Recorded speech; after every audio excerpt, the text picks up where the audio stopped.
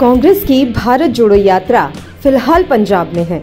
बाकी राज्यों की तरह यहाँ पर भी कड़कड़ाती ठंड में राहुल गांधी सिर्फ़ टी शर्ट पहनकर ही यात्रा में शामिल हो रहे हैं। राहुल गांधी का ठंड में सिर्फ़ टी शर्ट पहनकर चलना चर्चा का विषय बना हुआ है। इस बीच पंजाब से अब एक और तस्वीर वायरल हो रही है, जिसमें एक शख्स राहुल गांधी को भी टक्कर देता हुआ नज़र आ रहा है। दरअसल यात्रा में एक शख्स ऐसा भी दिखा, जिसने टी शर्ट भी नहीं पहनी हुई थी।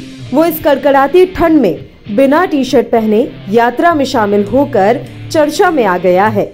इस यात्रा में राहुल गांधी को कैप्चर करते करते, जब कैमरा इस शख्स पर आकर रुका तो हर कोई हैरान रह गया। क्योंकि ये कौन है और कहाँ से आया है, ये किसी को नहीं पता।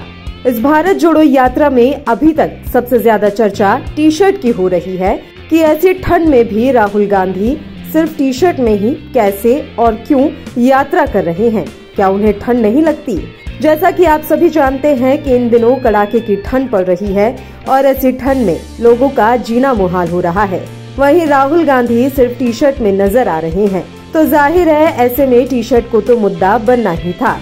और अब बिना टी शर्ट वाला ये शख्स भी खूब सुर्खियाँ बटोर रहा है।